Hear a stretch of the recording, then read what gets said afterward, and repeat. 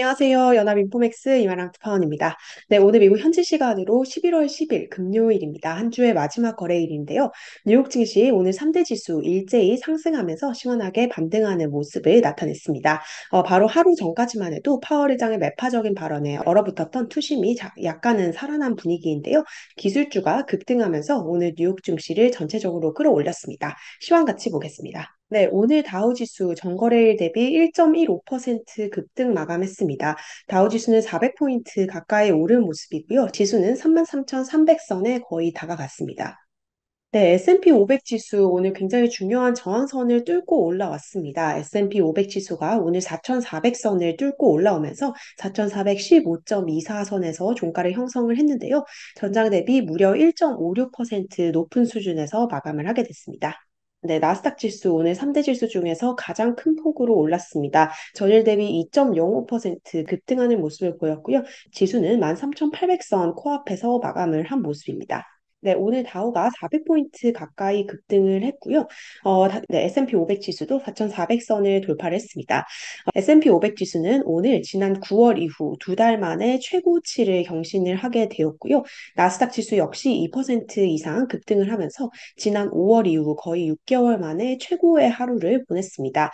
어, 3대 지수 이번 한 주 동안은 지지부진한 모습을 보였지만 한 주 전체 성적은 플러스를 기록을 하면서 마감을 했고요. 이에 따라서 어, 3대 지수 모두 2주 연속 상승세를 기록을 했습니다. S&P 500 지수가 이번 한 주 동안 1.3% 올랐고요. 다우는 0.7% 그리고 나스닥은 무려 주간 2.4% 올랐는데요. 11월 들어서도 굉장히 좋은 흐름이 이어지고 있는 모습입니다. 이번 한 달 동안 지금 열흘이 지났는데요. 나스닥 지수가 7% 급등을 했고요. S&P 500 지수는 5% 그리고 다우는 3% 급등을 했습니다. 어, 사실 이제 매크로 여건은 크게 바뀐 것이 없는데요. 오늘 시장은 이제 주말을 앞두고 반발 매수세가 어, 대거 유입이 되면서 큰 폭으로 오른 것으로 보입니다. 네, 기술주 중심으로 오늘 장에서 엄청난 상승세가 일어났는데요.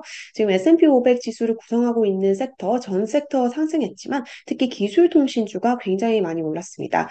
기술 섹터가 오늘 2.6% 가까이 올랐고요. 커뮤니케이션 통신 부분도 1.7% 정도 올랐는데요.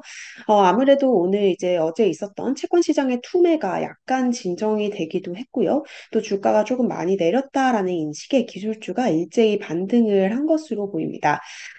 네, 오늘 주식시장 1등 공신을 마이크로소프트라고 볼 수 있을 것 같은데요.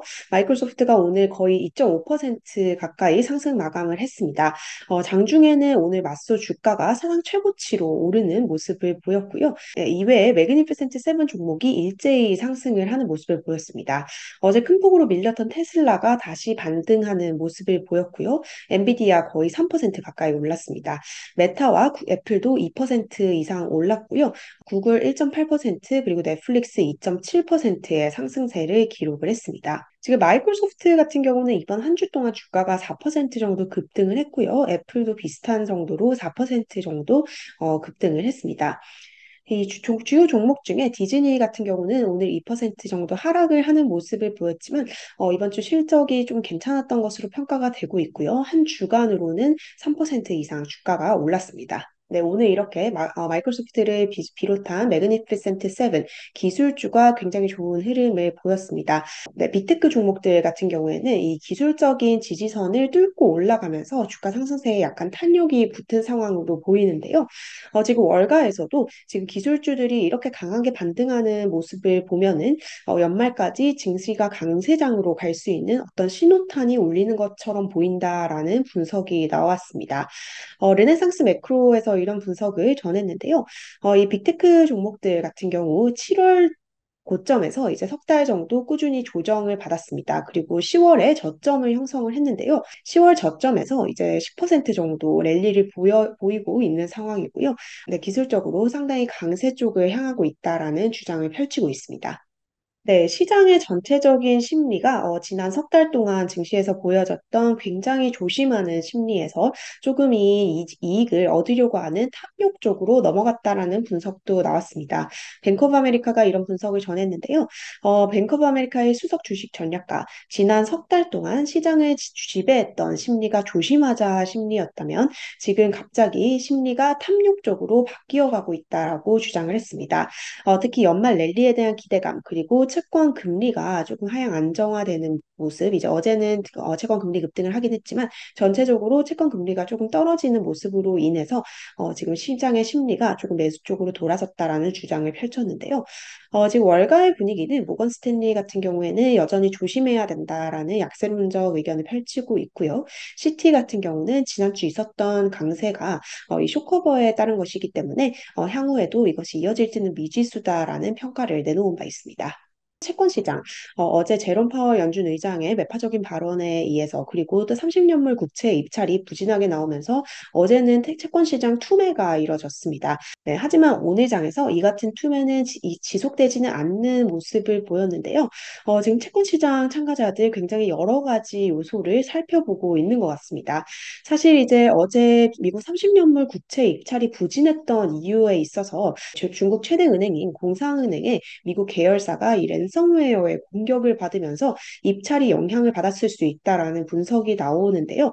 어, 지금 이제 ICBC 측에서는 네, 지금 ICBC 측에서는 이 랜섬웨어의 공격이 아, 네, ICBC 같은 경우는 이제 랜섬웨어의 공격을 받아서 특정 내부 시스템에 차질이 발생을 했지만 어, 이거를 바로 대처를 했다라고 주장을 하고 있고요. 뿐만 아니라 지난 수요일에 있었던 미국 국채 거래 그리고 목요일 날 있었던 레포 차입 거래를 성공적으로 청산을 했다라고 어, 해명을 하고 있는 상황인데요. 어, 지금 트레이더, 네, 월가 트레이더들은 이 ICBC에 대한 공격 때문에 어, 미국 30년물 국채에 대한 수요가 조금 두, 두- 더 둔화했을 수도 있다라는 어, 이런 분석을 내놓고 있는 상황입니다. 어, 이런 문제가 있는 상황을 어, 채권 시장 참가자들이 발빠르게 감지를 했기 때문에 어, 이 채권 입찰에 나서지 않았다라는 분석이 나오고 있는 상황이고요. 뿐만 아니라 지금 어, 10월 말부터 채권이 폭발적인 랠리를 보이고 있습니다. 이에 따라서 일시적으로 국채의 매력도가 좀 떨어진 것이 어제 이 채, 채권 입찰을 이제 부진하게 만들었다라고 할 수 있을 것 같습니다. 저는 시장이 매파적인 파월 의장 발언에 깜짝 놀랐습니다. 어, 여기에 이어서 오늘도 이제 연준 위원들의 발언은 이어졌는데요. 어, 메리 데일리 샌프란시스코 연은 총재입니다. 어, 지금 현재 정책이 충분히 제약적인지 아직 확신하지 못하고 있다라고 주장을 하면서 파월의 발언과 비슷한 맥락을 이제 표현을 하는 모습을 보였고요. 네, 반면에 라파엘 보스틱 애틀란타 연은 총재는 금리를 조금 더 올릴 필요가 없을 것이다. 어, 인플레는 아직 안 잡혔지만 인플레이션을 낮추기 위해서 필요한 것은 시간이지 금리를 추가적으로 올릴 필요는 없다라는 견해를 펼쳤습니다. 어, 보스틱 총재는 앞서서 수차례 더 이상 연준이 금리를 올릴 필요가 없다라고 주장해온 인물입니다. 네, 지금 파월 의장이 필요하면 더욱 더 긴축을 할 수 있다라고 얘기를 했고, 충분히 제약적인 정책에 도달했는지 확신할 수 없다라는 발언을 어제 했었는데요. 어, 이 와중에 미국의 기대 인플레, 이거 역시 연준이 좀 상당히 중요하게 보는 이슈인데, 기대 인플레이션이 급등했다는 좀 반갑지는 않은 지표가 나왔습니다. 어, 미시간 대학교가 집계하는 이 기대 인플레이션 값인데요. 어, 1년 기대 인플레이션 값, 다시 말해서 향후 12개월 동안의 기대 인플레 값이 4.4%로 집계가 되면서 1년 만에 가장 높은 수준으로 튀어 올랐고요. 어, 또 5년 기대 인플레이션 값이 많이 올랐습니다. 3.2%로 크게 오르면서 지난 2011년 이후 지금 12년 만에 가장 높은 수준으로 튀어 올랐고요. 어, 거기 반면에 소비자 심리 지수는 6달 만에 최저 수준으로 떨어지는 모습을 보였습니다. 네, 지금 여러 가지 어, 지표가 나오고 있는 상황에서 어, 다음 주에 CPI 보고서가 발표가 예정이 되어 있습니다. 미국 10월 CPI, 미국 현지 시간으로 다음 주 화요일 날 발표가 예정이 되어 있는데요. 어, 지금 CPI를 보고 월가 투자자들은 과연 연준이 과연 네, 연준이 과연 긴축의 끝에 다달랐는지를 판단을 할 것으로 보입니다. 어, 월가 전문가들은 10월 CPI가 전월과 비슷하거나 소폭 둔화했을 것으로 전망을 하고 있는 상황인데요. 예상대로 나올 나온다면 증시의 강세 재료로 작용을 할 수 있을 것으로 보입니다. 어, 지금 대부분 월가 전문가들은 전일 파월 의장의 발언에도 불구하고 연준은 긴축의 거의 끝을 향해 가고 있다라고 평가를 하고 있고요. 관건은 이제 첫 금리 인하가 언제 오는지 여부에 이제 쏠려져 있는 상황인데요. 다음 주 CPI를 통해서 과연 미국의 물가가 조금 진정이 되고 있는지를 알아볼 수 있을 것 같습니다. 네, 오늘 뉴욕 증시 마감 이후 큰 뉴스가 나왔습니다. 세계 3대 신용평가사인 무디스가 어, 미국에 대한 신용등급 전망을 강등시킨 것인데요. 무디스 같은 경우는 세계 3대 신평사 중에서 미국에 유일하게 최고 등급을 부여를 하고 있는 신평사입니다. 하지만 이제 전망을 둔화를 시켰다라는 것은 향후에도 이 최고 등급을 유지해 줄지에는 이제 불투명하다라는 의미로 해석이 될 수 있을 것 같은데요. 무디스는 미국의 재정 건전성이라든지 정치적인 양극화 그리고 셧다운 이런 문제를 제기를 하면서 어, 미국의 전망, 네, 미국의 이 국채, 네, 미국의 국가 신용 등급에 대해서 약간의 우려감을 표현을 했습니다.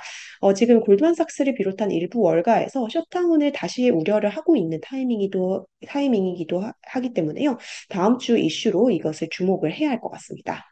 네, 뉴욕 증시 이번 주 중에는 지지부진한 모습을 보였지만 결국 상승 마감하면서 기분 좋게 한 주를 마무리를 했고요. 어, 주간으로도 2주 연속 상승, 11월 들어서도 좋은 강세를 펼치고 있습니다. 어, 다음 주에는 이제 CPI 지표에 따라서 연준의 향후 행보에 대한 투자자들의 확신이 생길 것으로 보이고요. 전 다음 주에 뉴욕 증시 정보와 함께 다시 인사드리도록 하겠습니다. 감사합니다.